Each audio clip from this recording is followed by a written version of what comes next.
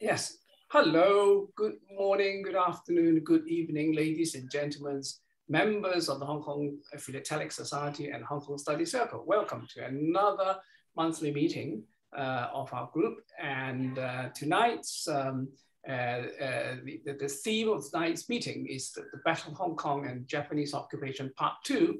Uh, there are still a lot of uh, areas um, we haven't discussed last time, so we decided to have another session. And of course, this meeting is uh, being sponsored by uh, FIAP, the Federation of Inter-Asian Philately, and, and we should thank very much for their, uh, their, their, kindness. So um, now, uh, before we start the meeting, uh, I've got a, maybe a couple of things to announce. Uh, one, of course, is the, the, the, the, Hong Kong Philatelic Society and Hong Kong Study Circle subscription so um, therefore, you have actually sent your subscription to the, uh, uh, the treasurer, uh, you kindly do so as soon as possible uh, by, uh, I think, uh, by PayPal. I think PayPal will send a check or whatever. And the other thing is, I would like to congratulate Professor Shaw for winning a, a, gold medal and the best periodic for for the uh, uh, for the New Zealand literature uh, uh, exhibition recently. So, I mean, a round of applause for the professor. I think it's well deserved. I don't know whether actually you have received the, the Journal 24, but it certainly is a very, very well done uh, piece of work. And uh, we, we certainly are very proud of him, his hard work. And then, of course, all, all the contributors for, for writing uh, brilliant articles uh, to, make, to make it the best periodical. So thanks, Professor. You want to say a few things? Yes, I would first, of course, thank uh, Dr. Andrew Cheung for the unfailing support. Uh, not at all, not at all. uh, he's the gatekeeper yeah, not the, at all. for the quality of the journal. Another is, of course, I would like to thank all the contributors. And uh, I'm, in fact, uh, soliciting articles for the 2022 journal. So I look forward to your contributions. Yeah, thank you very much. Yes, and uh, I also like to say that uh, Nick actually, oh, Nick wanted to say a few words about our uh, uh Hong Kong Study Circle uh, number 400. You want some good articles as well for that? I was just, I was just thinking maybe we should try and make it a bumper issue. So as many con contrib contributions would be great, very well received. Okay, yes. Yes, you, you certainly get one from me. right, okay. So, uh, well, on to, uh, there's nothing, nothing else coming up, uh, on to tonight's uh, presentation.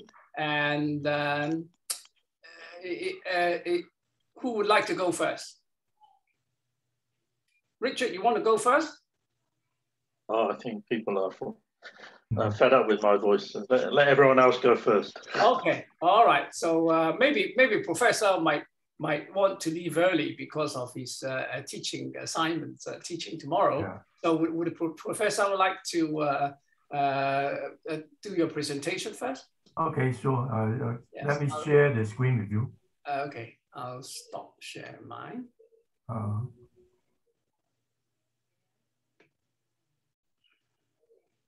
So uh, do you see the screen? Uh, it's coming on. Yep. Okay. You see the screen? Yes. Okay, so this is the topic I would like to uh, share with you. Uh, is the Hong Kong forces mail right after uh, World War II. So uh, it's a very short period of time, and I got a few covers on that. So to recap, the Japanese uh, in Hong Kong, in fact, uh, surrendered on the 14th of August, 1945.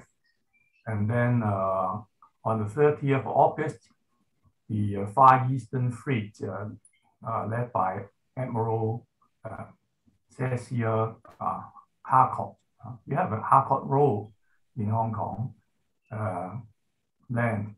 Uh, and then, uh, so after the landing, the airfield at the Kai Tak was uh, then repaired and put into use. And uh, it was recorded that uh, during the first few months, and uh, the mail uh, travel from Calcutta, India, had a few uh, stamps, uh, FPO 354, 355, or RAF uh, Southeast Asia 5. Okay. And uh, for the uh, FPO 354, it was probably used in Kai Tak. And uh, FPO 355 uh, was used at the RAF headquarters in Ho Man So this is the a, so-called green envelope uh, uh, with the postmark of uh, 355.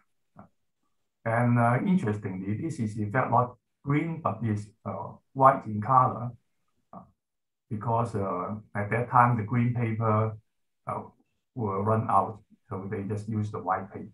So, and this is a so-called honor envelope that uh, with the letters inserted, it will not be undergone the censor. And then uh, after that, the uh, the third, uh, the commando uh, brigade uh, was the, uh, disembarked uh, in Kowloon on the 12th of September 1945. Okay, and then the postmark used was uh, 366. Okay, and this is one of the this is one of the the, the, the postmark, and it was recorded the post office operate at the 36th uh, Woody Road uh, uh, 31st December 1946. Okay, so this is uh, the first post office operated other than the RAF Kai Tak. Okay, and uh, according to Spring, only about 10 covers uh, were recorded. So if you got some uh, rec uh, covers on this uh, postmark, please let me know.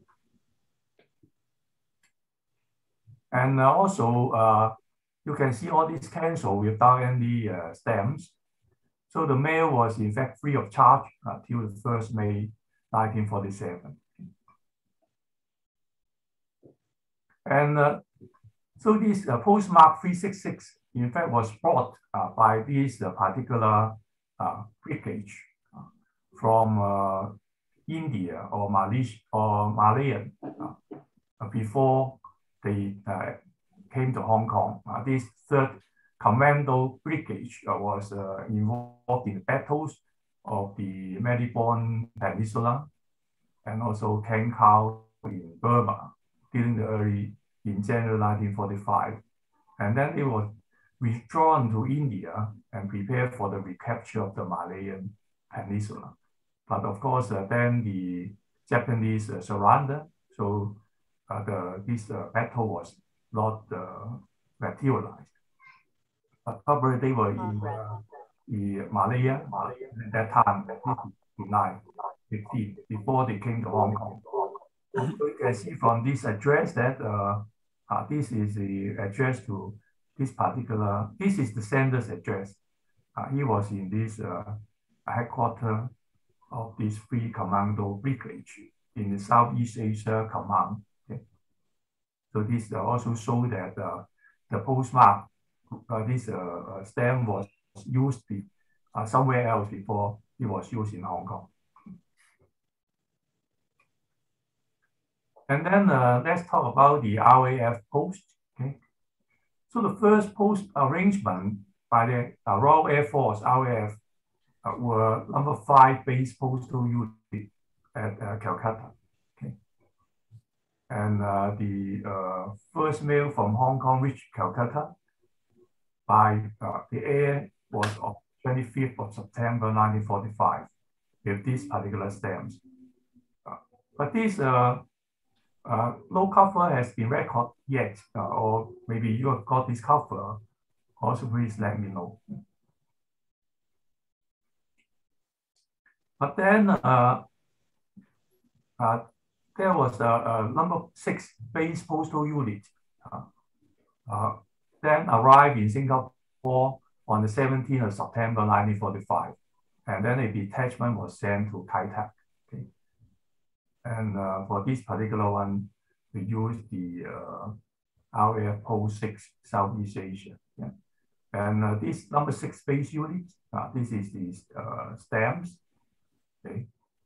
And the early date long on the cover was 28 November 1945. And the latest day long was 9 March 1946. Okay. And uh, on the 1st of March 1945, this detachment was re renamed RAF Post Hong Kong. So you can see that this is the postmark, uh, uh, Post Hong Kong. And the early days of use uh, was 12th of March, okay? And uh, after a few days, uh, when it's renamed, and the latest day was uh, 14th of June, 1947.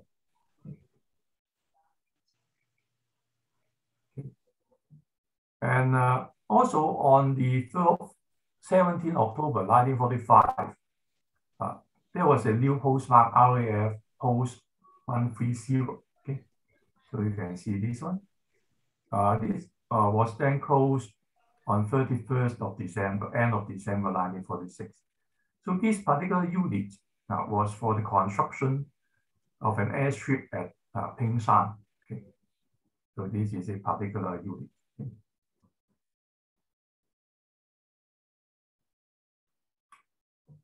And then at the beginning of uh, 1947, uh, the uh, civil, uh, civilian post office would took over the handling of the force mail.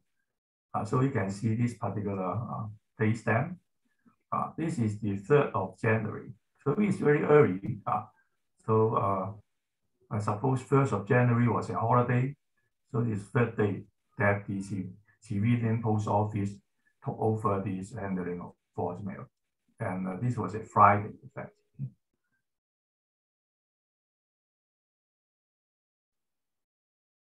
And then uh, uh, also there are there were Indian Army units. Uh, they also arrived in Hong Kong shortly after the liberations. Okay? And uh, they used two uh, stamps, uh, uh, Field Post Office 222 at the Land Force quarter, headquarters in Hong Kong, and also Field Post Office 127 at the camp in Kowloon. So you can see that this one is the uh, 222. Okay. This, the postmark was at the back of this uh, cover. Okay. So the, uh, the office uh, was at the Land Forces headquarters, uh, Victoria uh, Barrack, at the uh, MOT areas. Okay. And so this, in fact, arrived in Hong, Hong Kong shortly after liberation. So there is another one. Uh, this is also 222. And uh, this is a, a registration uh, receipt. And uh, uh, it seems to me that this is the only long India registration receipt used in Hong Kong. So if you have, if you are aware of other copies, uh, please let, let me know.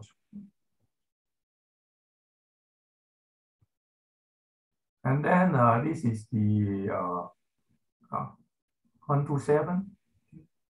This field post office was at uh, Tsui, Kowloon. Uh, it was the first field for the British Indian uh, garrison. Okay? And also arrived shortly after liberation.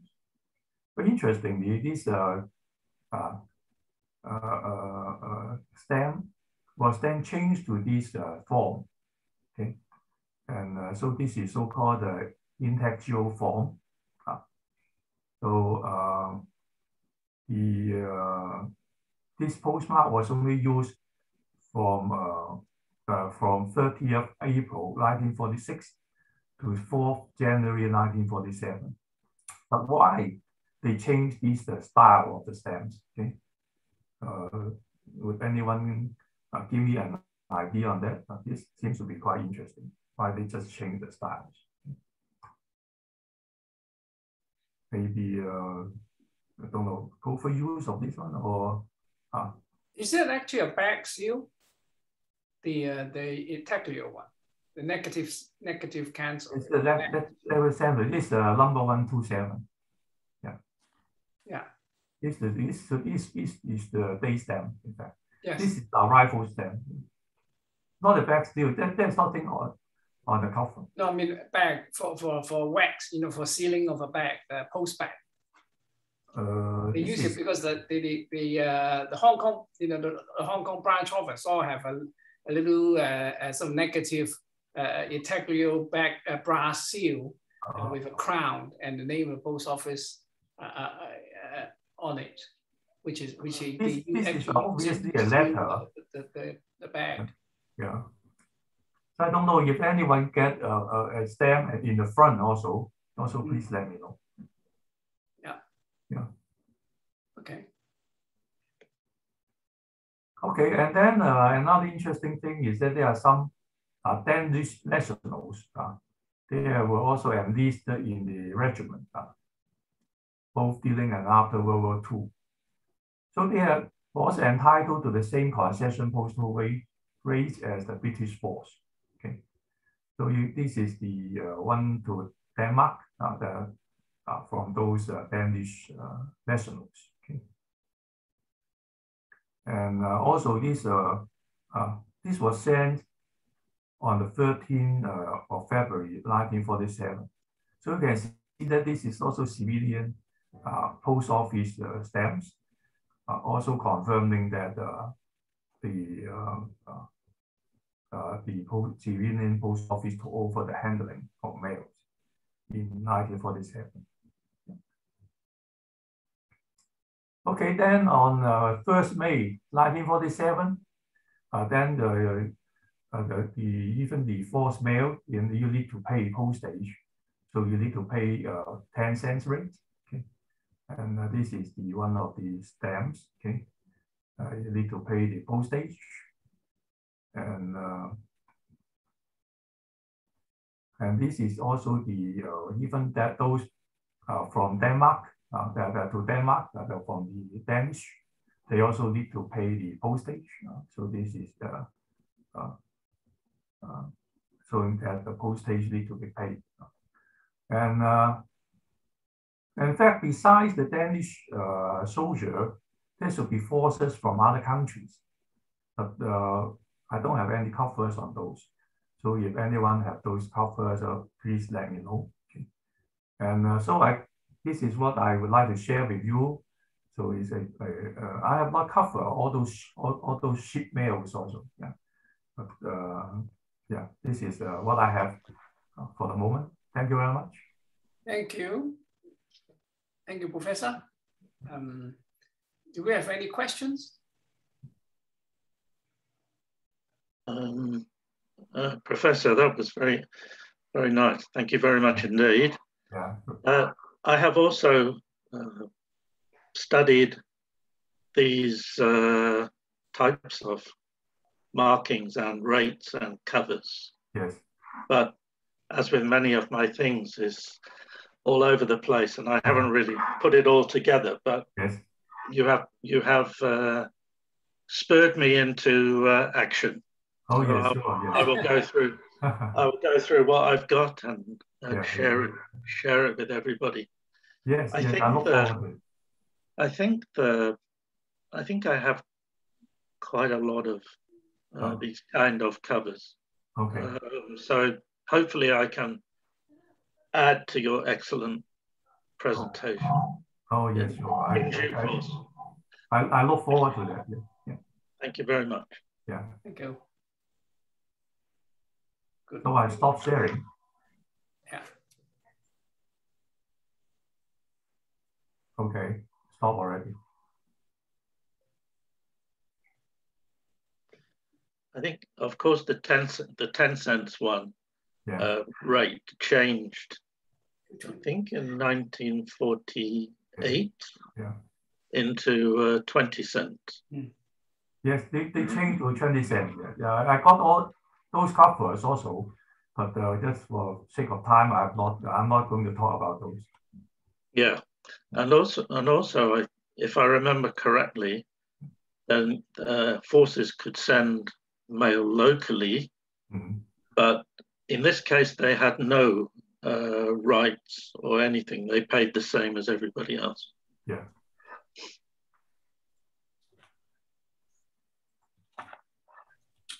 Uh, Professor, you, you were asking for cover from uh, Canada, Yes. and uh, there is, um, uh, it has been several exhibits about that, and I don't know if you have this one.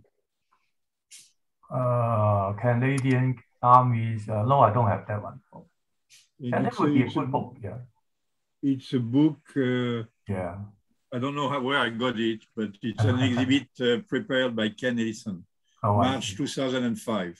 Oh, I see. Is it still uh, for sale somewhere? I have no idea, but Oh. uh, probably No, if, you, if uh, you search on uh, Oh, the Okay. web, Not for uh, sale. you will find it. They uh, is the BNAPs printed and then they sell everything. It hasn't been available for sale for a long time. Oh, I see. Yeah, that would be interesting to take a look at this uh, particular book.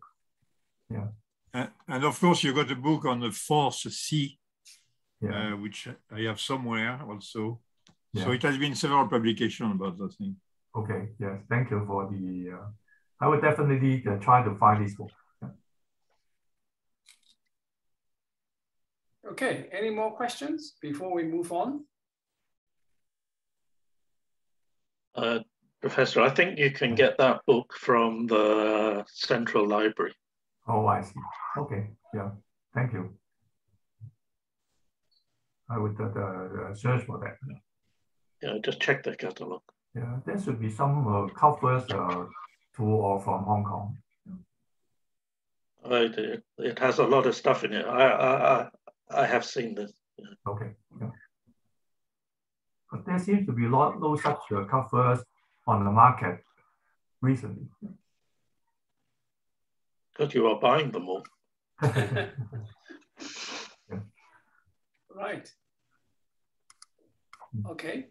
Um, if uh, the professor could uh, uh, stop sharing, so As I've stopped sharing already. No, you've got a button say stop sharing. Yeah. Ah, right, there you already. Yeah, good. Thanks. Right. Okay. So uh, yeah, thank you very much. Uh, it's a very nice presentation, and um, yes, I, I'm, I'm sure that uh, the professor has got more material which he hasn't really want, got time to show. Mhm. Uh, so on to our next uh, presenter, um, Richard. Will you want to to go? You're muted.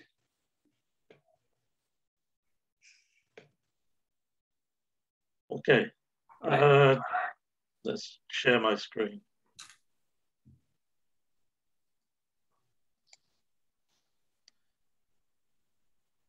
Let's see.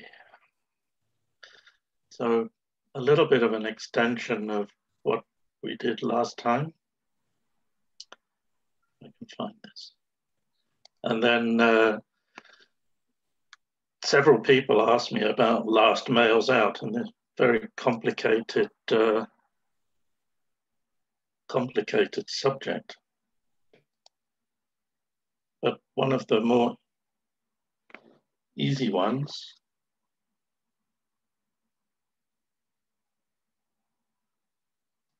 Give me a second. Okay, can you see all that? Yes. Yes. Okay, cool. Um, actually, pr- uh, primarily because of the censorship, it's extremely difficult to find out anything uh, about surface mails in late 1940 and all of 1941 uh, because there was nothing printed and you were subject to imprisonment if you gave information on the movement of ships. Um, so there is a, quite a bit of a detective story to find out anything. Uh, from the outset, let me just say that uh, a big thanks to John Tang. I've used, as usual, I used quite a lot of his material from his great collection. So I'd like to say thank you very much to him And similar thanks to um, Sam and also to Ingo this time. Thank you very much. So let's see what we can say. So surface mails out of Hong Kong in 1941. Of course, the last ones were in no, November and December 1941. And um, one of the easier ones, shall we say, to do is the ones to the USA and Canada, which I, I have hope, hopefully put down correctly here. And other ones are rather more difficult to uh, follow. But I've called this part one because I think there are probably about five or six different parts that need to be done. So let's move on. That's just a summarization of covers um, to the USA and Canada. Trans-Pacific mails sent by ship. Uh, then if we look at the mails to these two countries, then we can see that there were covers delivered and others that were detained. And if we look at the latest recorded dates for the delivered covers, then in to the United States, it's about, um, I have seen covered uh, with the 7 p.m. GPO uh, time slot on the 28th of November. And the earliest recorded detained cover to the United States is also on the 28th of November. Um, at that time, with sen the censors and everybody else, some covers of the same date didn't go and some did. To Canada, then there was a lot of uh, Seaforth mail, and out of those, primarily, the latest recorded delivered cover was at four o'clock on the 28th of November, and the earliest detained cover, i.e. detained over the period of the Japanese occupation, is dated the 1st of December. So essentially you have to find uh, a ship that fits in with this uh, matrix. And there's only the only one that I've ever found, and I've searched high and low for these things, is the motor vessel Cornville. And this was a Norwegian uh, ship, one of uh, a number of ships run as the Klaveness line. And it operated trans-Pacific between Manila, Hong Kong, uh, west coast of uh, United States and Vancouver, back and forth. It was mainly a cargo uh, line, but if if you you probably know that um, the mails pre-war surface mails to America were sent by the American President line and uh, the Japanese uh, NYK and OSK lines. But the Japanese mails stopped for obvious reasons in uh, early 1941. At the beginning of 1941, mails were sent to the UK via the USA uh, by these Japanese ships. Um, so there was a bit of an about turn over a short period of time. The American President line ships, these are all President Coolidge, President Grant, and all these ones, were taken over. Um, half of them got taken over pretty early in 1941, and then others continued. But it's very, very difficult uh, to find their movements. But before, by the end of uh, November, certainly in uh, mid-November, there, there were no American President line ships going from Hong Kong. And it's my understanding that mails were sent uh, on this particular ship. The, the routing based on its logs is uh, coming from Manila on the 26th of November and it arrived on the 28th and uh, sorry about interference from people going to hospital. Um, and it then departed Hong Kong on the 29th. So that is consistent with the information I gave you just now. And then its next port of call was Los Angeles, where it arrived on the 31st of December. And it departed there after unloading and so on on the 7th of January, the next day in San Francisco, and then another wait in San Francisco, eventually arriving in Vancouver on the 16th of January, 42. Uh, this particular ship, after it, after Hong Kong had been taken, it was redeployed and it was sunk in May 1943 off the Gold Coast, West African coast, by U-boats. U-boat, sorry. So that's the details of the Cornville.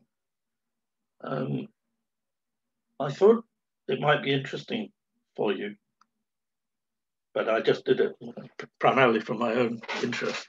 I've often wondered why the last mails uh, left for the United States uh, are on the 28th of November. Why, why were they kept? Um, and I'm not sure whether I have the answer, but it's a possibility.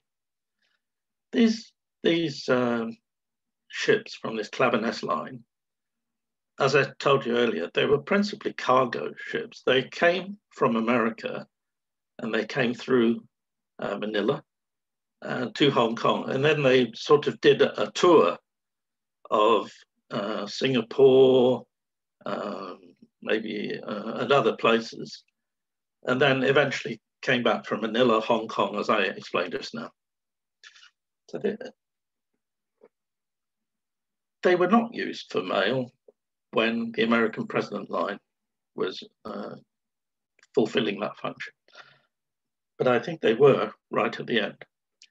And the last one to uh, complete its voyage, Trans-Pacific, was actually the Cornville. But at the time the Cornville left, the next ship in this particular line was already in Hong Kong. So perhaps this was called the uh, Pleasantville, very nice name. And this ship was uh, had arrived on the 26th of November, just before the Cornville left, and was in dry dock just for routine repair.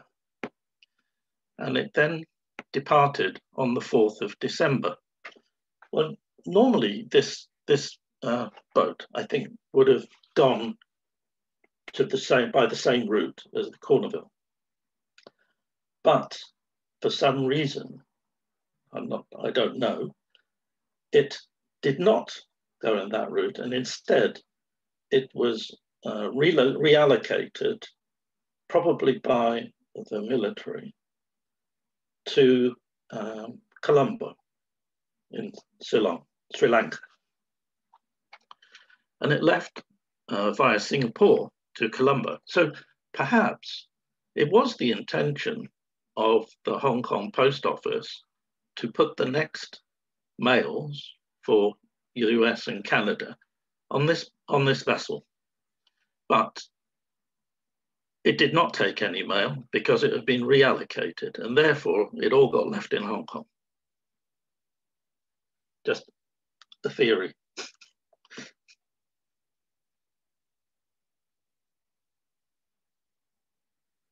So now coming to a few examples. Uh, this particular cover was to Los Angeles and uh,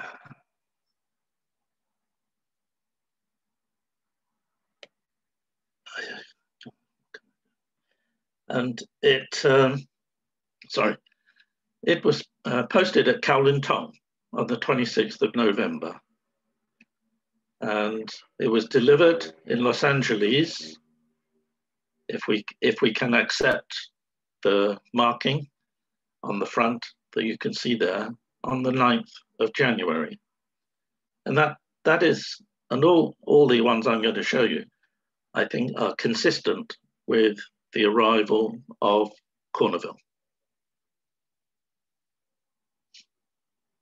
I don't have any other explanation, as I said there. So if I'm wrong, I'm totally wrong. What's the one cent rate? Is it one cent stamp? I'm not sure. I can't. For some I reason, think I it must be 30. Yeah, So it's 30 cent is a little bit. Is it only part of the cover, some part of the cover missing or something? Yeah, it's part. There's stamps on the reverse. Oh, I'm so sorry. stamps on the reverse. Okay. Yeah, yeah, yeah. I didn't have space.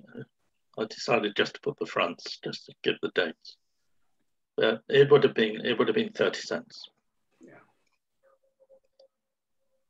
Then uh, also there are covers to San Francisco.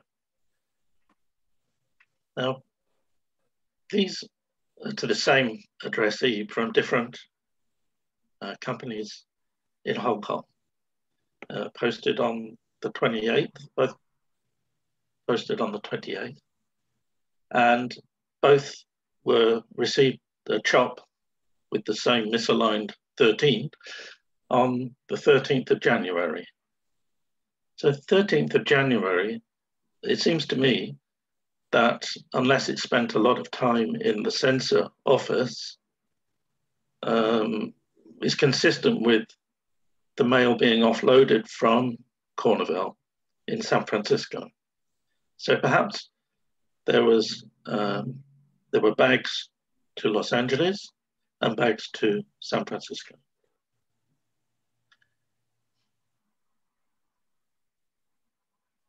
Then there are mails, uh, uh, covers, sorry, to other places in the US, principally East Coast.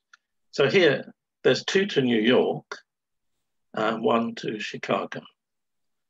So the one, the two to New York, one's dated the 21st of November and the 25th of November, and these would have gone on the Cornville. And they were delivered in New York on the 5th and 6th. Um, one is by Company Chop on the reverse, which is the left-hand cover.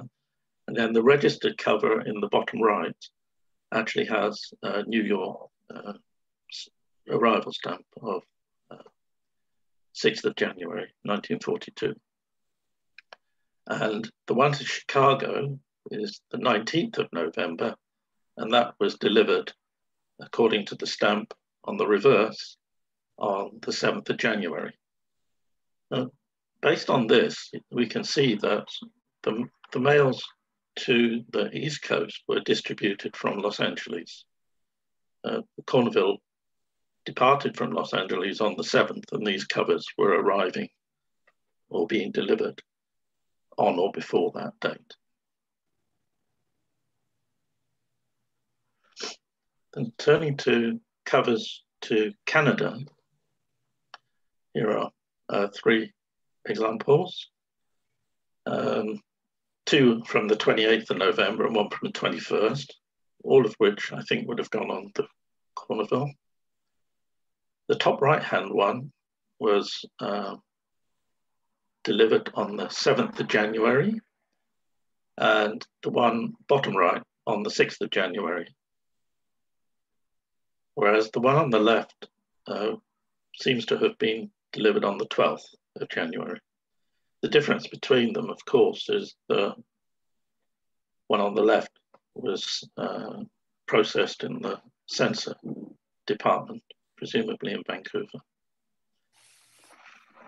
Um, but again, from these dates, you can see that the likelihood is that the mail was processed for Canada from Los Angeles, not San Francisco, and did not remain on the Cornville on its journey through San Francisco to uh, Vancouver.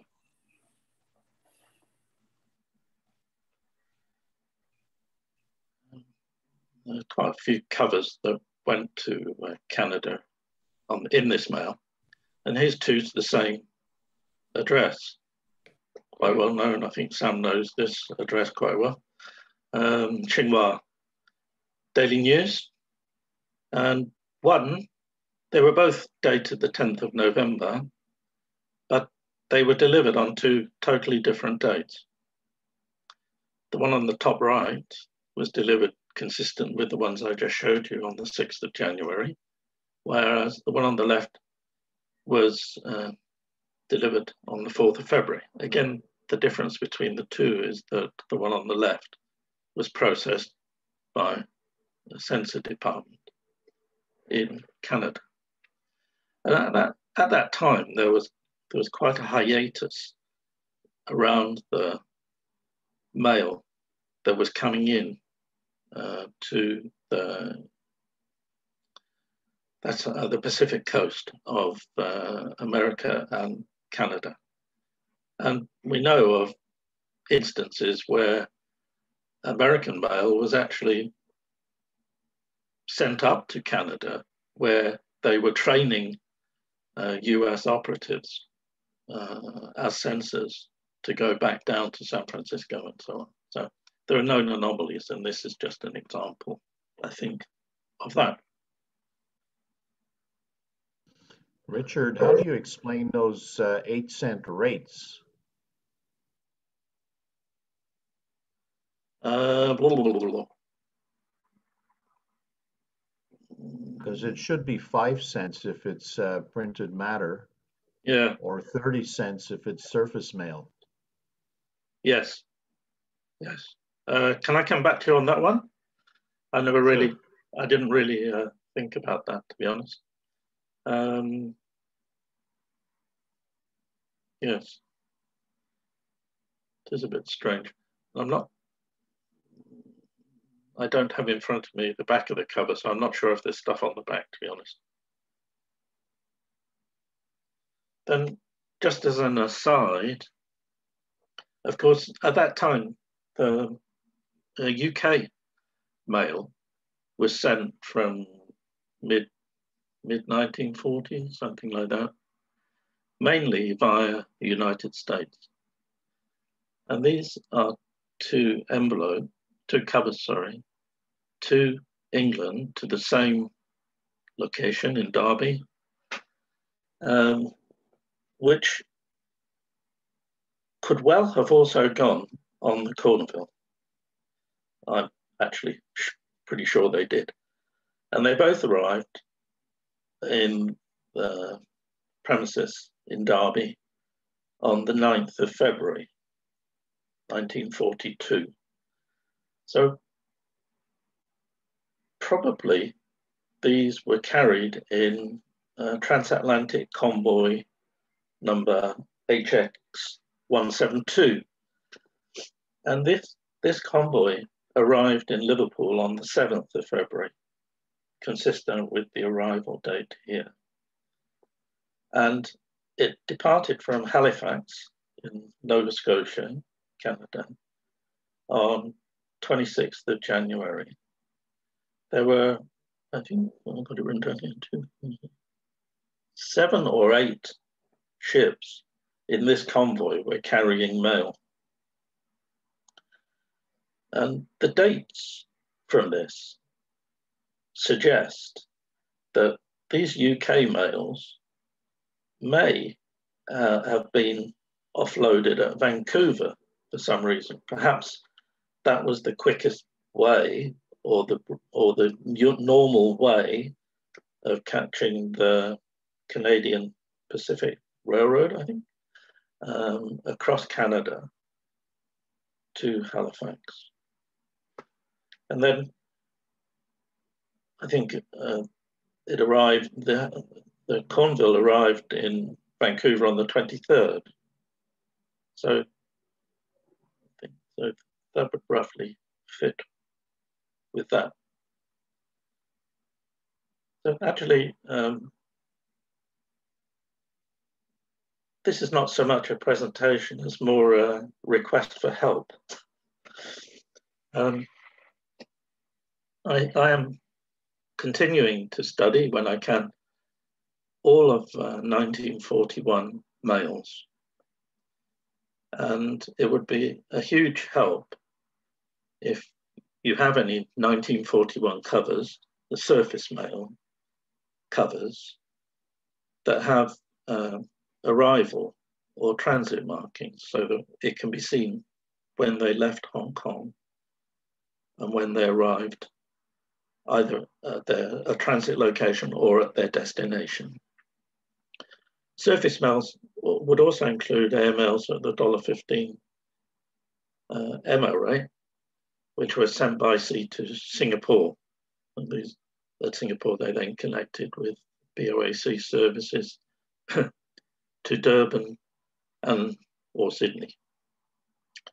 That would be uh, that would be good, and also um, perhaps really um, more out of desperation because I think there are very very few incoming covers to Hong Kong. But if you do have one that came by sea with legible uh, dispatch date and arrival information or date stamp, then that would be brilliant. If you could let me know, um, then it would really help me to uh, firm up on these studies. And of course, many uh, Richard, thanks. Richard, in, in a book I mentioned a few minutes ago, uh, there are some cover like uh, you described, and there is one, another one sent on 28th of November 41 to Canada at 4 p.m.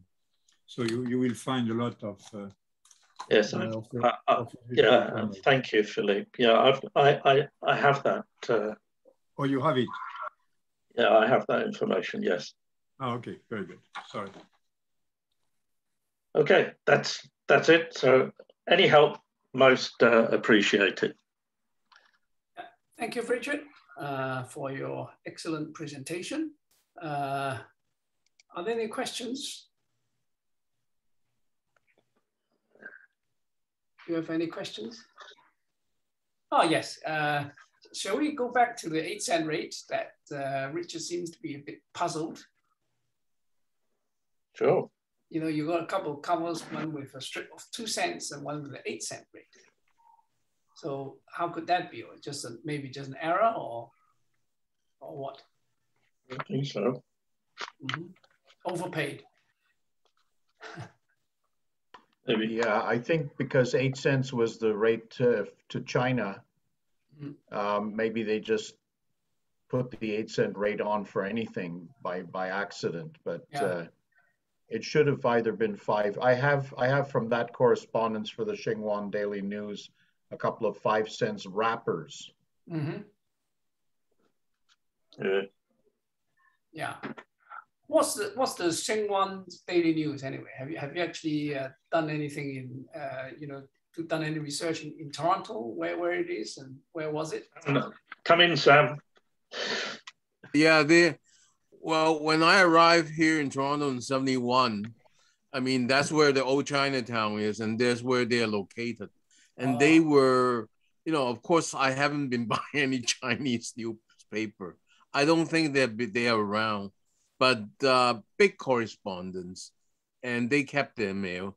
So yeah, yeah, um, the the eight cents cover belonged to me.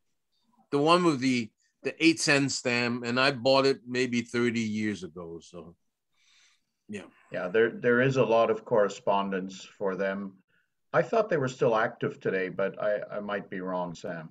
Yeah, I don't know. I'm gone to Chinatown for you know but, but, but, I mean, their newspaper is is yeah, their newspaper. Yeah. yeah. yeah, yeah, yeah, It's part of the Chinese diaspora in in Canada, specifically in Toronto area. Hmm. Good. Yeah. The the other thing is that Richard and I were actually studying the legitimacy of that hand stamp, the private one, to see if it's real. You know, if we could. if we could, uh, you know, be sure that it wasn't put on afterwards. So. Okay, good. Any questions from anybody? Right, okay. So thank you, Richard. And uh, if you were able to, if you are able to help uh, do actually try to look for some 1941 service mail covers with markings on the back and, uh, and then uh, give Richard uh, an email. Okay, fine. So um, no more questions. We shall move on to the next presenter, uh, Simon, Simon Choi from Hong Kong. Simon, to, to you, over to you. Okay, uh, let me share the screen.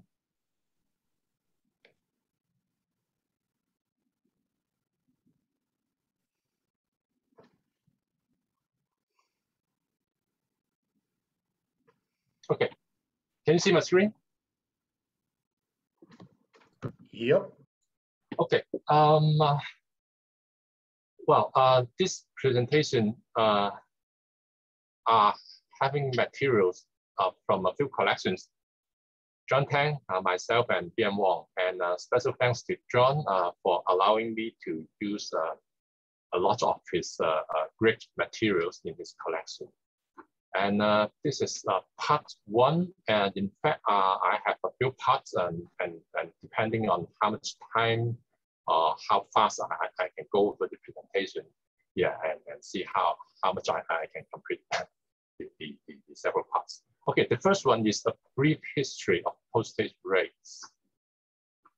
And during the three year and eight months period, uh, in fact, the postage rates can be divided into four periods. Uh, the first one being um, the first day of the opening of the post offices in Hong Kong PPO and Kowloon Central Post Office on 22nd of January 42 um, to uh, March 31st, uh, just uh, two months and a few days. And then the second period uh, is from 40, uh, April 1st, 42 to uh, March, end of March 44. And then the third period was from April 1st, 44 to 45 April. And the last period was just a few months before the end of the occupation. And just uh, uh, please look, uh, look that um, the Japanese use domestic and foreign countries or destinations uh, in, in, in their postage rate tables. And uh, domestic uh, means those occupied areas like Hong Kong, Taiwan, Japan, China, Manchuria, and, and those occupied areas in Southeast Asia. Uh, while foreign countries, uh, those like Thailand, Annam, which is today's Vietnam, and then Macau, Switzerland, etc. Okay, um, the first one, the opening of the post offices and the issuing of, of the new uh, of the six uh, Japanese stamps on the uh, first day, uh, the Jan um, uh, January uh, 17. Oh, sorry, uh, January the, the 22nd. And this is the, the first day cover with the six stamps uh, from General Post Office. And then uh, besides of the six uh, Japanese stamps, uh, uh, there was one uh, postage stationery card, uh, the two cent one, uh, issued on, on, on the same day. And the right illustration uh, was uh, first day uh, postcard from Kowloon Central Post Office. And during the first rate period, four cent was needed to mail less than 20 gram or less for, for domestic destinations and this one uh, is mailed from uh, from Kowloon uh, to uh, Kowloon destination and uh, fixed it with a four cent stamp. And uh, uh, please note that uh, the, the delivery date, uh, in fact, was on the 25th, uh, which is uh, three days after the posting date. And then uh, this one is another uh, a postcard, the, the, the two sample stationery card from Hong Kong posted on the first day.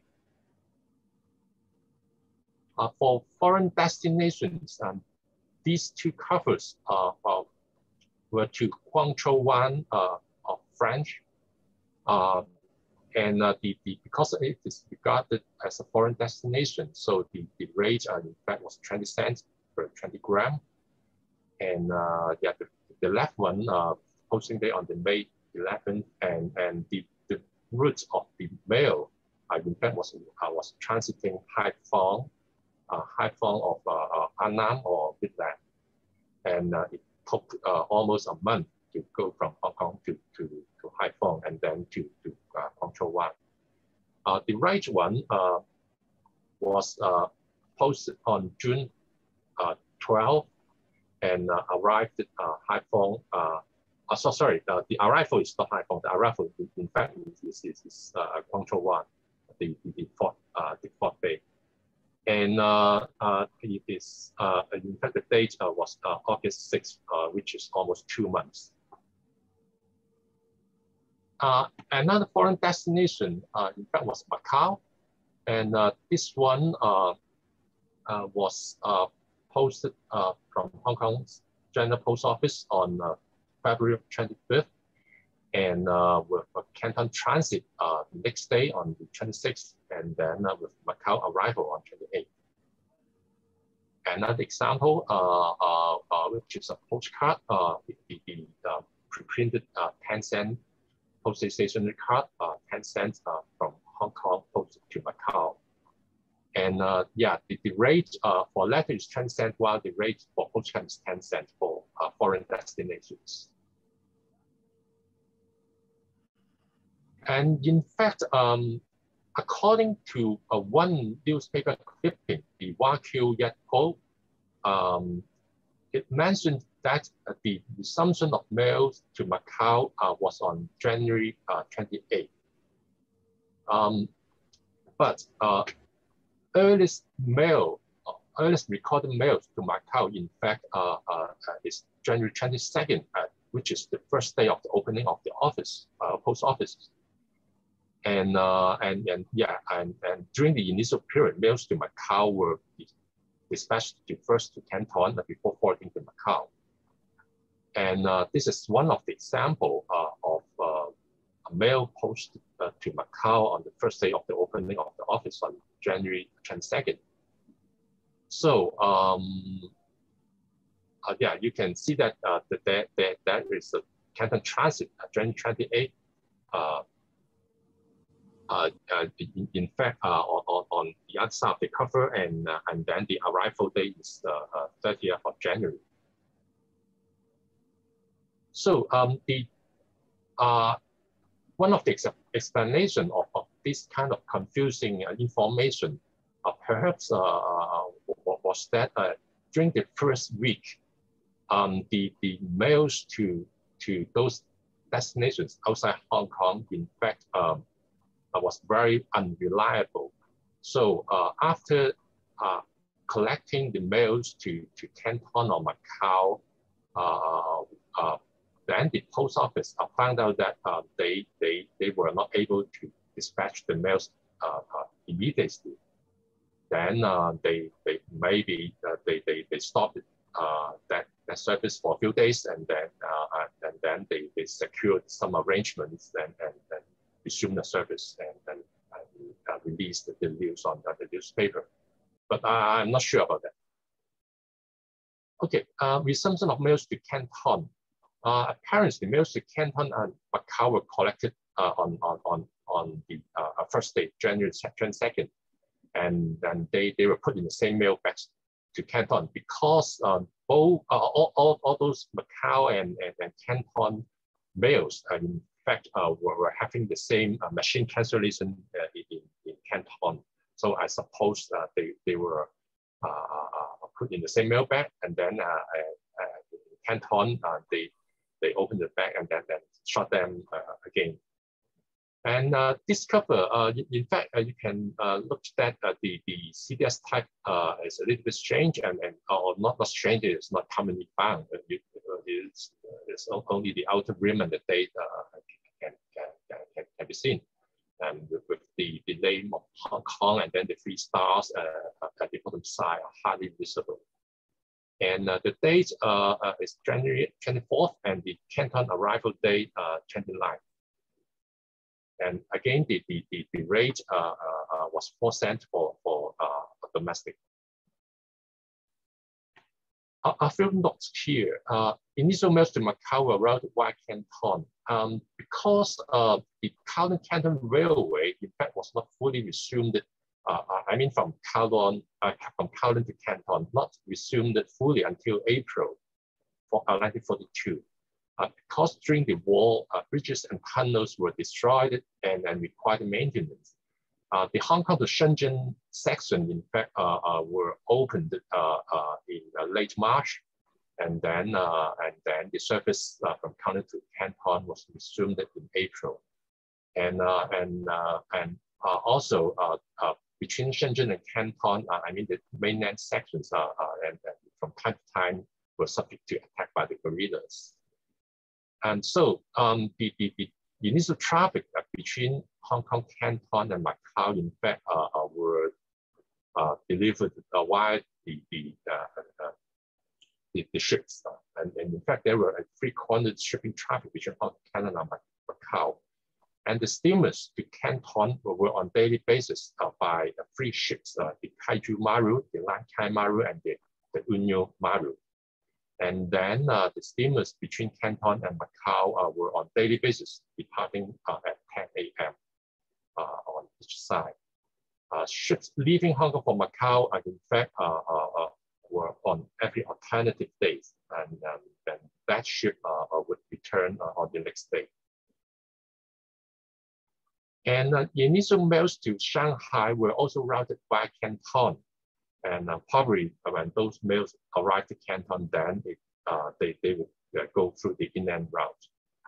Uh, this is an example uh, of uh, a letter posted from Hong Kong to Shanghai, and it has the manuscript written per first steamer via Canton. And the arrival day, in fact, was April, and it took a few weeks. I summarized a table of uh, uh, from a few selected uh, mails uh, during the initial uh, uh, one or two weeks for all relevant mails to Canton and Macau. So you can see that initially the, the, the, lead time from Hong Kong to Canton is six days, five days, five days for the initial few, few, few days after the opening of office. So uh, I, I, I, I, suspect that uh, because the, the, the service or the, the route uh, was, was unreliable, so it, it, took a long time, quite a longer time. And then from 28 onwards, the, the, the lead time has shortened to, to, to around three days. And uh, yeah, in fact, uh, even by the, the, the, ships or the steamers, um, the uh, uh, those, those ships during the, the, the initial uh, uh, few weeks uh, in January, in fact, were overloaded with uh, uh, all those repatriates. I mean, know the, the Japanese have a, policy of repatriating the, the, the, the, people in Hong Kong back to mainland China.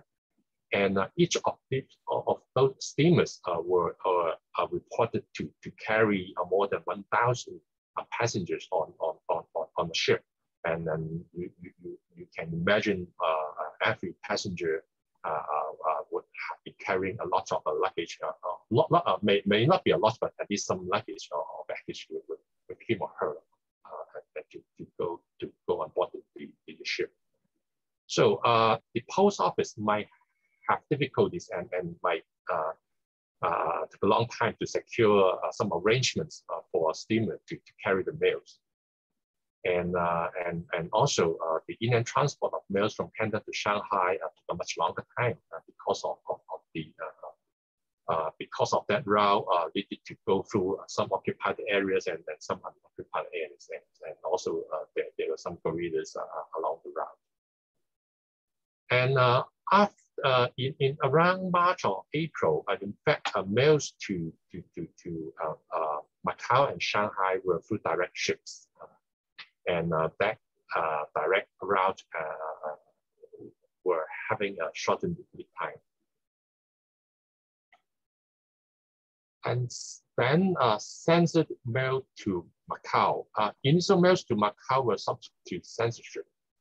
Uh, in, in, fact, uh, not only Macau, but uh, also to some other destinations to, to, to, to China destinations or some foreign destinations. And this is an example of a cover post at Kowloon on 31st of January. And then uh, it was censored and sealed uh, with a label. And uh, it is having a Canton transit mark, but the date is visible. And uh, besides of uh, foreign or, Macau uh, mails, and in fact, local mails were also subject to censorship. And um, this one was sent locally from the Catholic Cathedral at Caine Road to Kowloon. interestingly, um, um, yeah, the, the yeah, the, the, the person there, belongs to, to the German and also uh, the, Italian. And then those countries uh, are, in fact, were not enemies to the, to the Japan. And uh, the mail was posted on March 23rd and, and received and current the next day. And then uh, we uh, go to the second rate period, uh, 1st of April 40, 1942 to 31st of March 1944, quite a long period, almost two years uninfected uh, exactly two years. And uh, this example uh, is a cover posted on the first day, the 1st of April, 1942, from Hong Kong to Canton. And you can see that the, the Canton arrival was on the 5th, which is four days afterwards. Uh, another example uh, of the second rate period uh, is a cover to uh, the, the, the Chinese name uh, uh,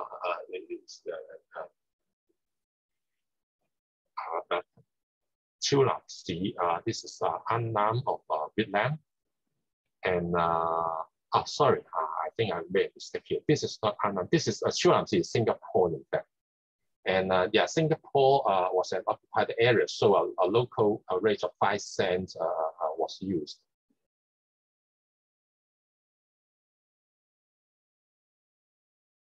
and postcard rates are unchanged. Uh, two cents, uh, two cents on official use postcard, and uh, this is an example uh, on 1943 uh, March 25th.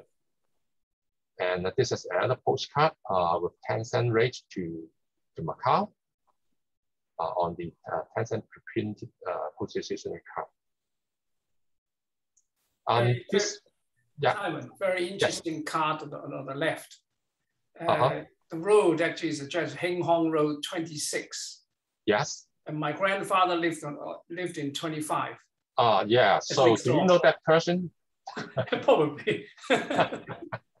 He's probably one of these people who played with my father during the war. Yeah, and, and yeah, Hing Hong in fact is quite near to the University of University, yeah, that's right. Yeah, and, and also your your your your your your, your school, your secondary school, the, the same St. Paul's Boys. Right. I think actually 20, 26 is, is actually is opposite rather than next door. Oh, okay. Because they have the odd numbers and the even numbers on the other side. so it should be directly opposite to us. I, in, fact, this is an official, uh, a government official postcard. You can see uh, underneath the stamp that there's a Chinese word "yong" and and probably uh, the, the, uh, there are two, two words. The first one should be "gong" gong yong, which means it's, it's official. Yeah, yeah. Okay, thanks. Okay, and then uh, the second uh, rate period, uh, we can see uh, the the registered mails. Uh, in, fact, uh, there, there was no registered mail uh, during the first period because uh, registration service uh, was not resumed uh, during that period. And the first registration service was resumed on 1st of December 1942 to Japan and local Hong Kong destinations only. And the fee for registration was 12 cents. And this cover was posted on the first day and it, it's obvious that we had a cover with a lot of stamps and uh, but uh, but it, it, it, was postally mailed, and you can see the registration label and and, and, and the uh, deep blue rectangular hand stamp with, Xulao, which means registered. And uh, the, the label, in fact, uh, is quite interesting. It is not uh, commonly found.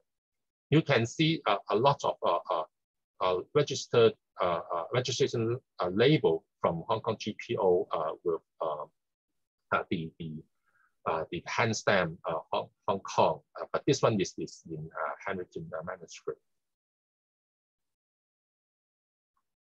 And then um, this is, okay, uh, registration service to South China was resumed at a later stage uh, on 25th of May 1943.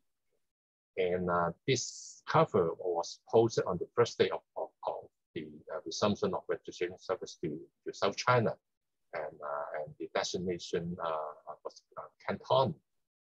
And yeah, it, it, it, received the Canton arrival marking at the back. And you can see that um, besides of, of uh, the, the usual uh, Japanese stamps uh, and the, the Japanese post, postal authority allowed the, the, the use of other Japan or the, the, the stamps from Manchuria and then other Japanese stamps not released in Hong Kong. Mails to North China. And uh, from a newspaper clipping, uh, um, uh, uh yeah, the mails to North China are both ordinary and registered uh, were resumed on 15th of August 1943, according to, to, to, to, to that uh, news. And, and also, um, um, you can see from, uh, from the bottom of, of this slide, I, I have uh, uh um, uh, uh, some I have a sentence I cut out from the article written by Thomas Kwok in the London Philatelist, uh, 1991. And uh, Thomas Kwok uh, mentioned that uh, there was no mail service between Hong Kong and North China until 15th of August 1943. But registered mail service was available on the same day as mail service resumed.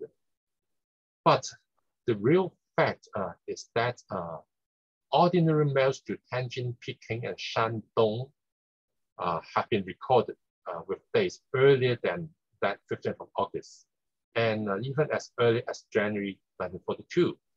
Again, uh, the, the information uh, uh, was very confused. And uh, I have an example here. this is a cover to Tianjin with a date 1942, January 23rd, 23rd which is second day after the opening of the office.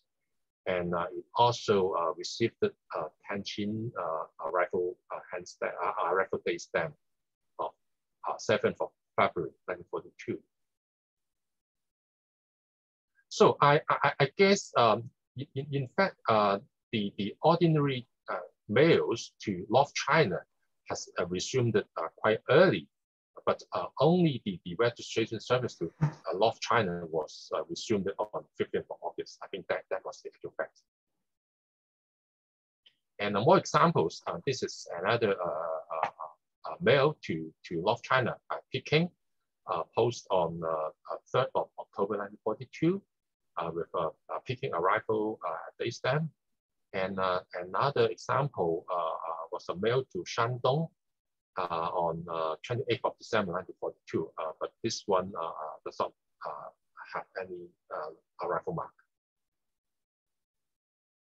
foreign destination. Um, this one was to Thailand. the exact month and date cannot be seen, but the, the, the year should be 1943 and the, the rate uh, was 20 cents, and, and then there uh, is no arrival mark. Or may, maybe the, the, the two in circle, but that, that, that, that there was no date mark uh, based there at the back. Uh, another foreign destination uh, having a transcend rate, uh, uh, oh, wow, I have so, so many typing error to today. Uh, this is 1943 to, to Switzerland, not, not Thailand. Uh, uh, 20 cents uh, with a censor label and, and, and no Xmas card to prisoner of war. And uh, this one uh, was posted uh, uh, on the first Christmas after the Japanese occupation to Sham Shui Po camp with Xmas card written at, at, the lower left corner.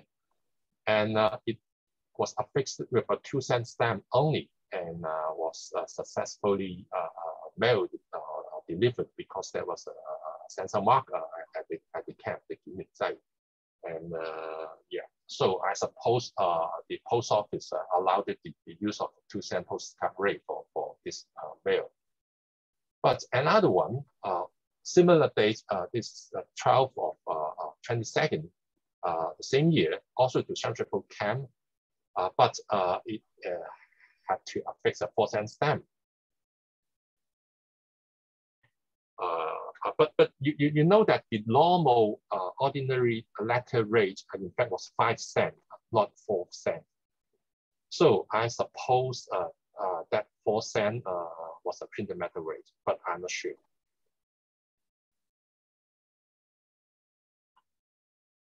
And uh, we we we we we can see uh, some uh, government demand notes uh, posted from various government departments Uh, to collect uh, uh, monies from from the business owners or some residents for for, for various utilities, and and this one was affixed with a two cents. so apparently, two cent was sufficient for posting this kind of uh, demand logs. Uh, in fact, these, these uh, demand logs, uh, in fact, were, uh, were, were on a very thin paper and free folded. And uh, yeah, the date uh, was March 13, 1943. However, uh, later that year, um, the uh, rate for these kind of government de demand notes uh, uh, were changed from two cents to four cents. And this is an interesting example with initially a two cent uh, stand uh, on the 15th of June. And then uh, it had to add another two cent stamp and, and, and, and they stand with uh, 17th of June, two days later. And why it happened, I, I do not know the exact reason. Uh, I, I, guess uh, because uh, previously uh, uh, they, they, they, these kind of notes were, were treated as postcards, so to, to send uh, was enough. Then maybe the post office or, or, maybe the postal regulations stated, stipulated clearly that the, the, these kind of mail should be treated as printed matter, so they, they needed to, to, pay a four cent printed matter rate. And uh, during the uh, period, uh, you, you can see some uh, were having some black inks, uh, blackening the, the, stems or some words. And most of them uh, were mails posted to unoccupied China in, in Guangxi or, or Kunming, etc. And then upon arrival, the, the uh, the, the postal authority of the unoccupied China will, will blacken the Japanese stamps. Uh, but besides of, of that purpose, uh, I, I found uh, some, some mails uh, uh, perhaps having some inappropriate or sensitive words written on it. it. was also blackened by the Hong Kong Postal Authority, like, like, like, like the postcard on the right. Okay, then uh, we go to the third uh, rate period uh, from uh, April 1st, 44 uh, to uh, April 15, 45. And 7 cent uh, was the local or domestic rate. And this example is uh, mailed to a local uh, destination, Hao, in 1944, July. and then another example was a letter to, to, to uh, Canton, uh, 1st of September 1944, also having a 7 cents rate. Uh, foreign destinations, uh, the, the 20 cent rate uh, uh, uh, was not changed. And uh, this is an example uh, from Hong Kong to Macau, fixed with four 5 cent stamps with a total of 20 cents. And the left one, this one is Annam and uh, yeah, uh, which is uh, Vietnam of today, and Saigon, which is Saigon or, or yeah, or, or, or Ho Chi Minh City today. And uh, it was fixed with uh, a total of eight stamps, uh, a total uh, rate of 20 cents.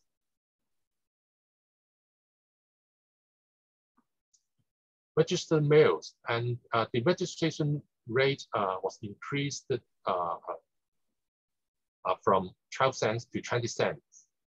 And this example uh, was a quadruple rate uh, with 20 cents registration plus uh, 28 cents, which is four times seven cents to China, with a total of 48 cents. And then the right one is an example, example of registration mail, but the, the destination was Philippines Islands with 20 cents registration, registration plus 7 cents postage.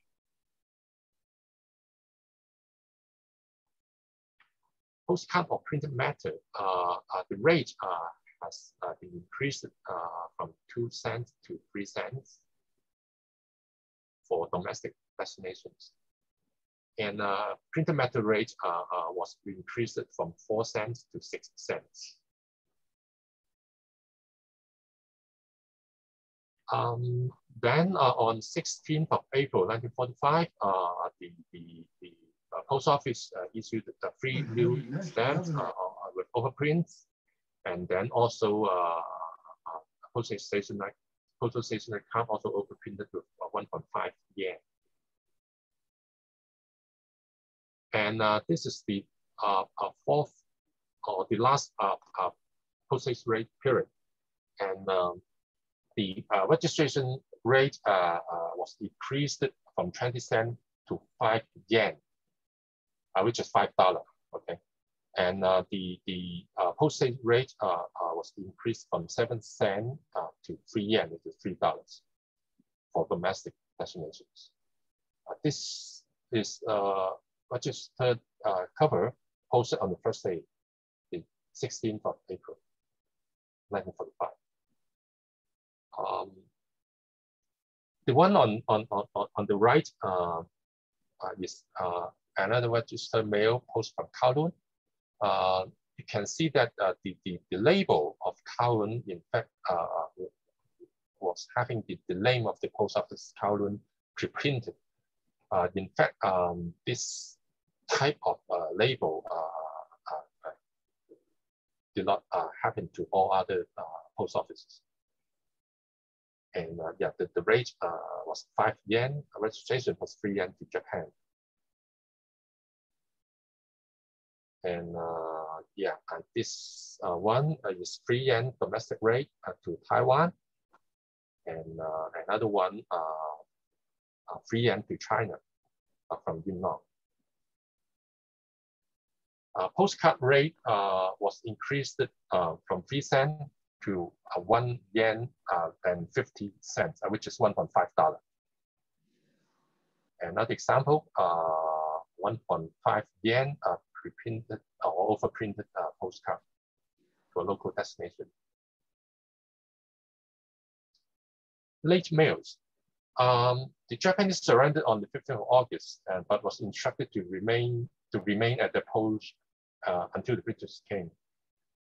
Uh, post offices, uh, at least GPO, Kowloon, and Wan Chai continued to open, and postal operations that continued to run. Uh, this is an example uh, uh posted uh, on the 20th of uh, August 1945, having six yen double rate for local destination.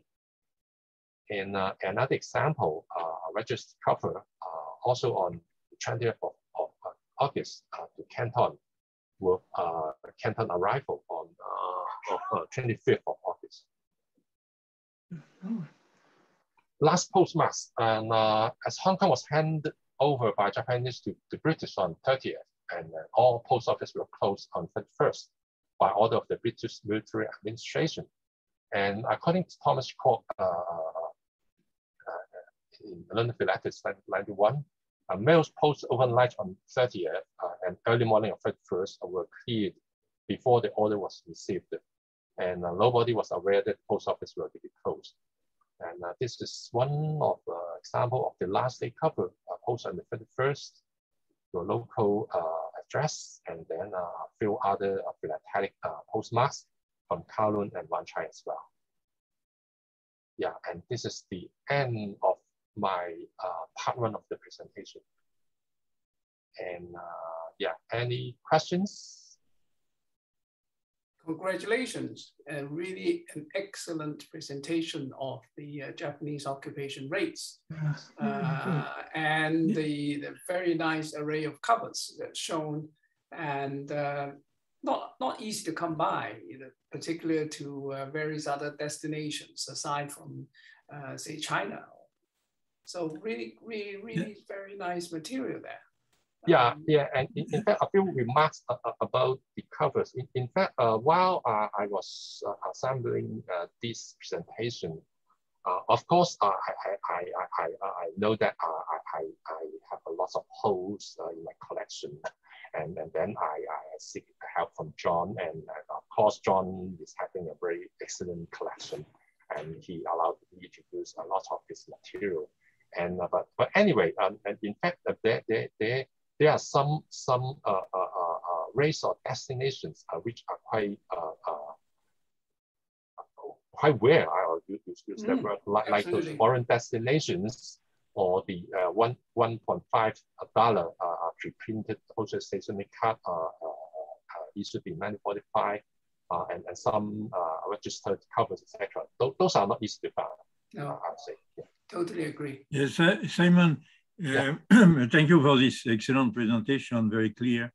And just one um, little remark. It seems that for foreign destination, the post office must have been quite confused mm -hmm. for some destination because uh, at a domestic rate where normally all the sphere of cooperation with Japan yeah. and uh, foreign destination were the other, like Macau. Now, mm. concerning the Philippines, yeah.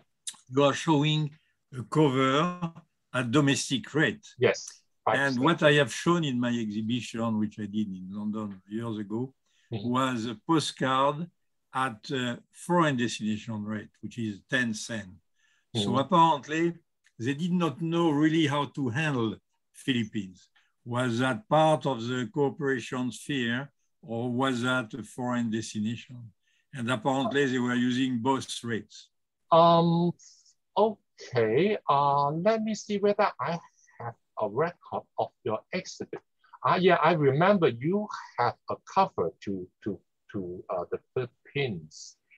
And uh, so you, you remember you, yours is a 10 cent postcard?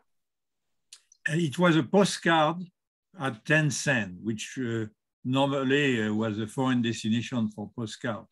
Mm -hmm. And it, it was, um, let me see if I can show it. Hold on. And, let me see. Let, let okay, me try okay. to. I, I, I thought I thought your your your your your uh, cover in one of your exhibits. I'm not. Well, I, I'm not. I don't know how, how many exhibits you, you are having, but uh, you your cover in, in fact is a five cent. Uh, is having a five cent rate. But but yeah, please show your your your.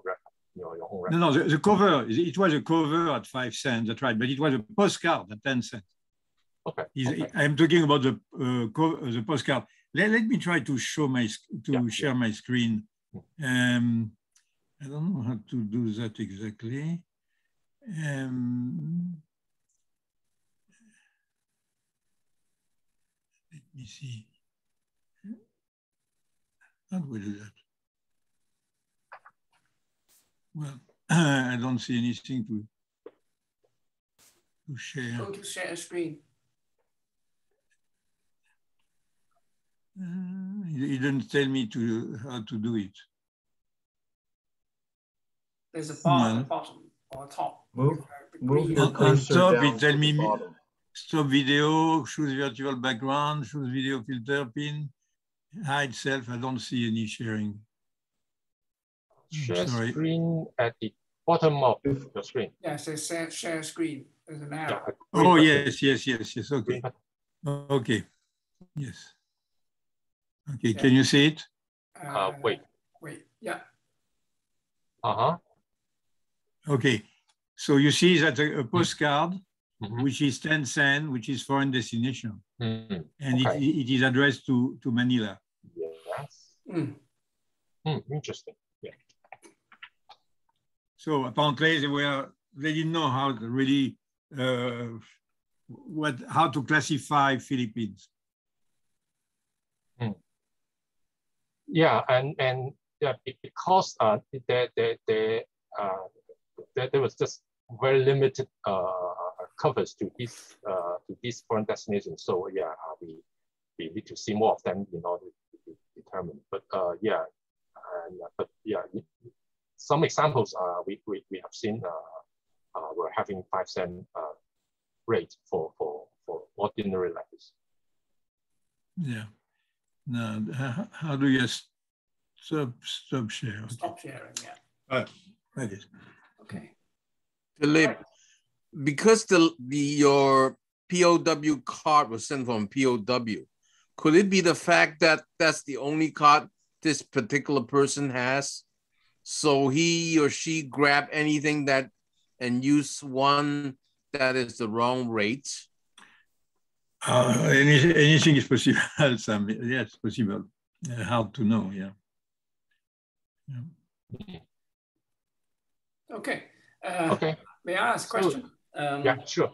Yeah, uh, very nice presentation. Uh, there, uh, for those of you who can read Chinese, uh, there is a, uh, I mean, amongst the, the covers, there, there, are quite a few of them actually with the uh, uh, uh, addressee being Mr. Wong, Wong Man Look of, yes. of Canton, of Guangzhou. who is he? Is he a stamp collector or? Um, uh, there's a huge correspondence, must have been. From from from the address, or or, or, or yeah, from from the address. In fact, uh, um, the the the sender uh, uh, uh, called him uh, as, as far as I remember, uh, some postal clerk or the postmaster of, of the Canton Post Office or, or some kind of officials at the oh. Canton Post Office. Okay. So those are actually uh, so commercial correspondence rather than uh, yeah, and and and the sender uh, uh, uh, one one of the uh, usually seen sender in fact was uh, C.Y. Lee, uh, Lei Qingyu, and and I suppose he, he was a, a, a, a stamp stamp shop owner or, or, or yeah, he must, must be a, a collector. Yes, is also also some of the uh, the, the, Portuguese. Um, there's there there is a, a, a cover to uh, uh, a Gloria Barreto. Mm -hmm. That that's also uh, with the Dalmada family. Dalmada. Uh -huh. Yeah, yeah, yeah, yeah, yeah. so it's quite it's quite interesting that uh, you know all the Portuguese uh, correspondence that left. Um, anyway, any anybody got any questions? And uh, perhaps you, you need to uh, uh, see it again on YouTube. And uh, you want me to go to part two as well? Uh, how, how long is going to be? Maybe 15 minutes or 10 minutes? Yeah, sure. Well, why not? Yeah. Okay. Okay, go on.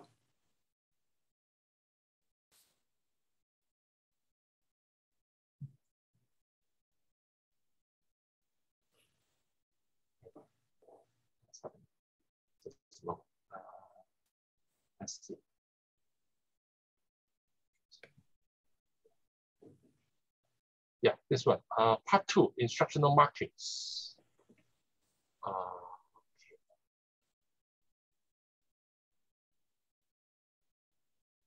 okay, uh, instructional markings are used during the Japanese occupation.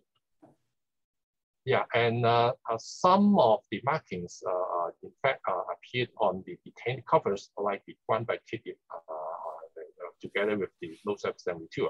I, I, guess the LOSEF 72 uh, might be used by the, the Post Office, but one by Kitty, I believe, uh, was used by the Japanese.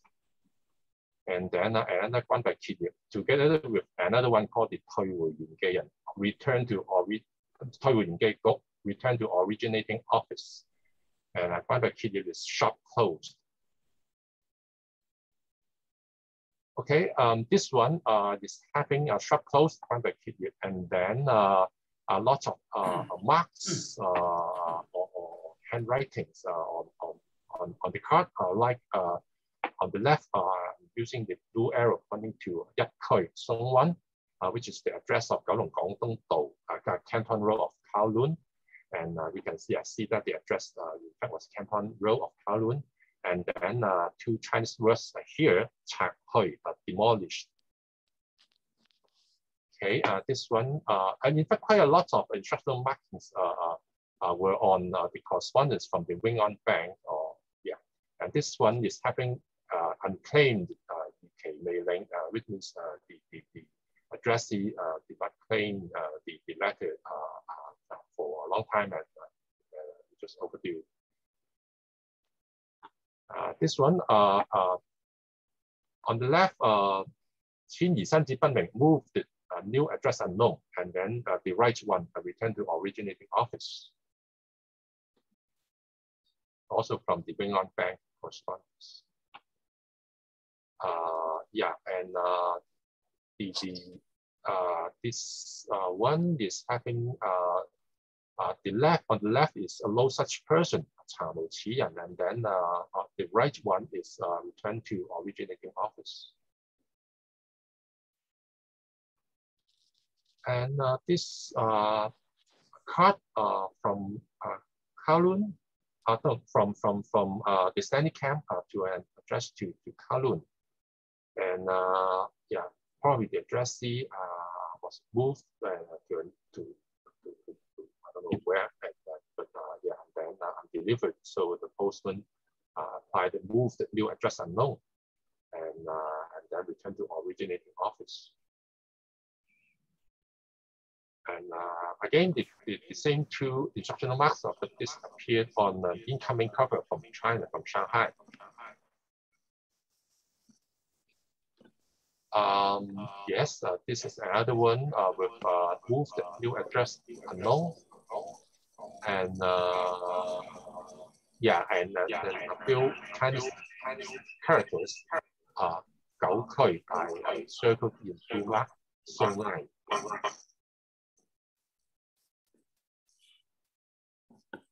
Um, this one is, is, is not commonly seen. Uh, um, uh, 住址不详 address unknown. And, uh, yeah, and then uh, the, the handwritten characters means uh, check it and ask, but no one knows.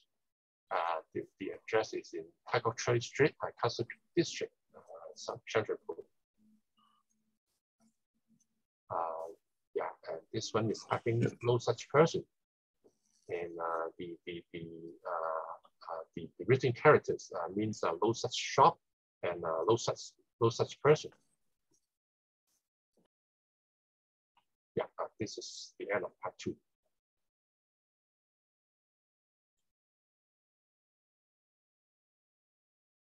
Any questions? Yeah, thank you.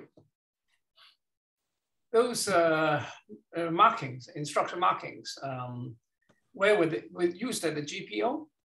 Uh, uh, mostly uh, in Kowloon. Ah, but why Kowloon?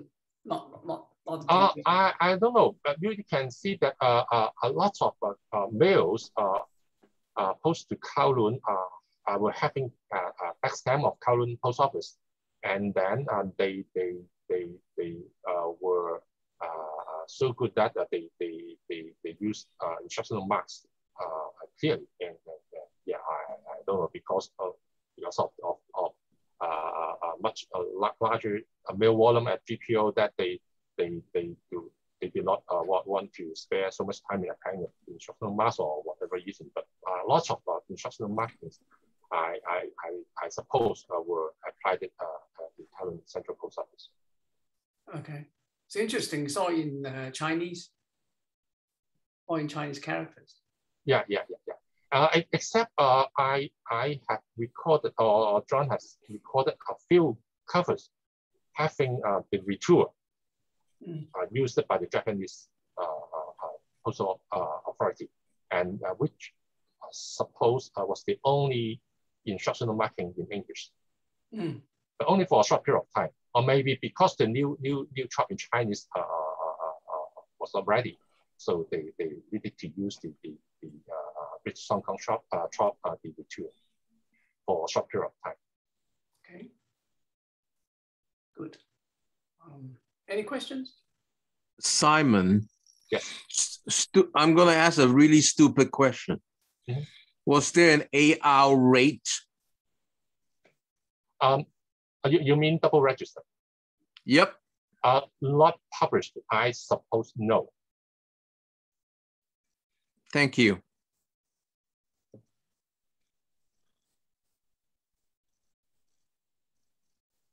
Right. Anybody? Okay. You, you want me to go to part three as well? Okay, okay, all right. Maybe uh, five minutes or 10 minutes. Yeah, sure, sure, sure. Why not? okay. Okay. Uh,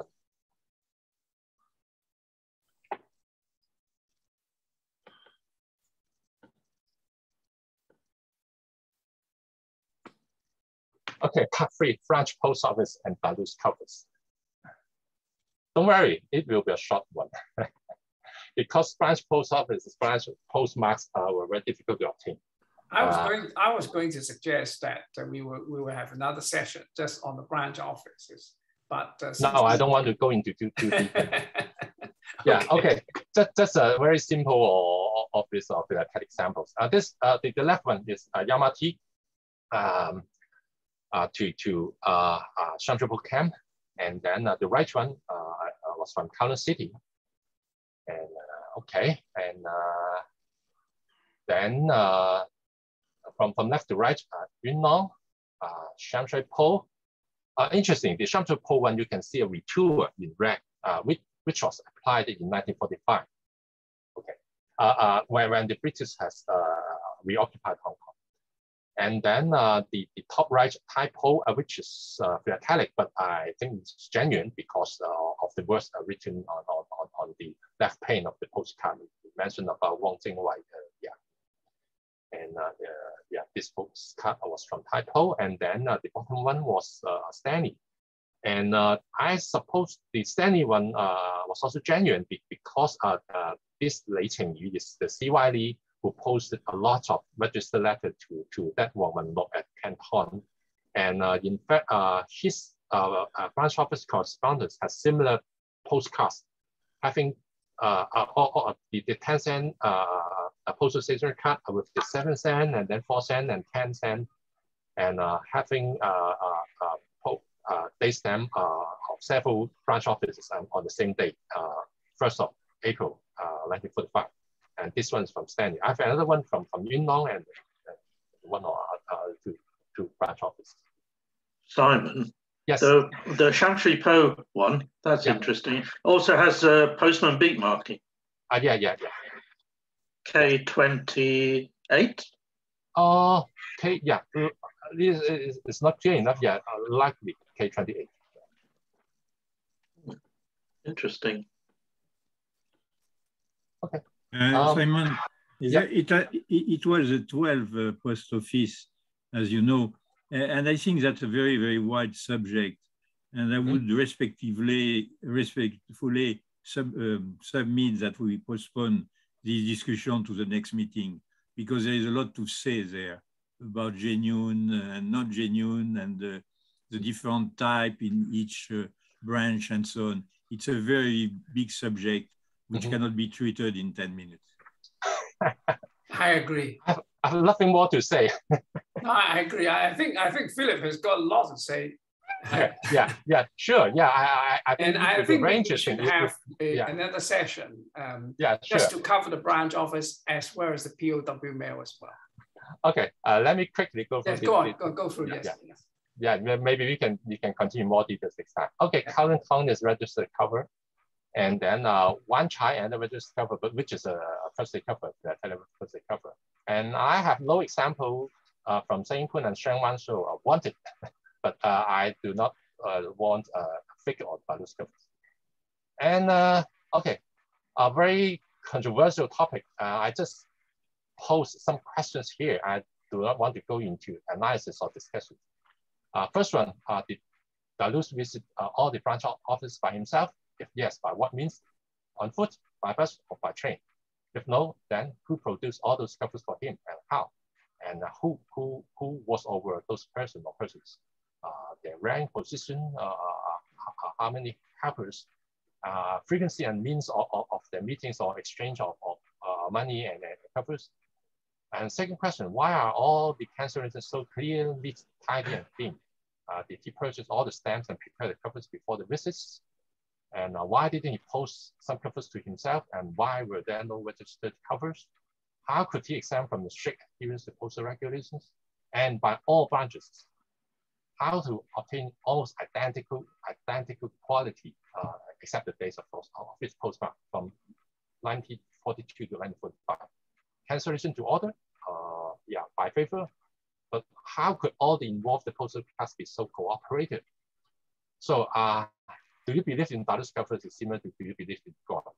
I'd say this uh, yeah, we, we had a discussion years ago, Simon, as you remember. Yeah, I remember uh, many, many Throughout the article in the, in the yeah. journal.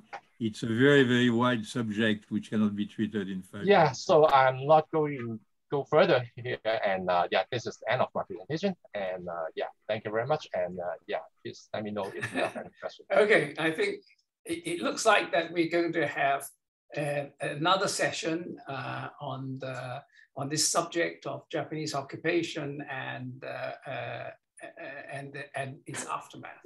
So um, I think as the time actually it's it's almost uh, 11 o'clock in Hong Kong, and um, I'm sure that some of us would like to uh, take a rest. Uh, I I noticed that um, um the, the, the president of uh, FIEP, Dr. Prakob, is with us. So um, would Dr. Prakob like to say a few words? Good evening, uh, everyone. Uh, it was a great pleasure uh, listening and uh, learning something new uh, from you guys. And thank you, uh, Dr. Andrew, and those attending. It's been very interesting. By the way, when we talk about the uh, Ladus, the last one, yeah, how many covers are available? The one that you are suspecting? Hundreds. 25,000. 20, 25,000? Yes. yes. They all look very similar, all in the same and have, envelope. And I have had in my hand about 5,000. Wow. Yeah. That's a lot. Yes. So that's a lot to think about. And uh, out of these 25,000 uh, addressed to different uh, persons? No, to him. Same address, 64 MacDonnell Road, Hong Kong. All to the same address. Uh-huh. And I, I, I know that oh, Philip okay. has, uh, has uh, uh, cracked the Dalous code and maybe he can share about uh, that uh, secret. oh. very, very interesting story that uh, we have. Anyway, um, Dr. Prakob, thank you very much. And thank you for FIEP for sponsoring uh, these very interesting, uh, our very interesting meetings and uh, and also um, to to Jasmine for you know her work uh, arranging uh, uh to send out the uh, uh, the link and the passwords. I think um, well we all have a very nice morning or afternoon or evening, and uh, we will see you next month and uh, still on the same subject. Uh, oh, it's goodbye for me, and you know have a have a nice have a nice day and evening. Okay. Goodbye. Okay. Goodbye. And you, you okay. Bye bye. Thank you, everyone. Yes, thank you. Thank you. Bye bye. Bye bye.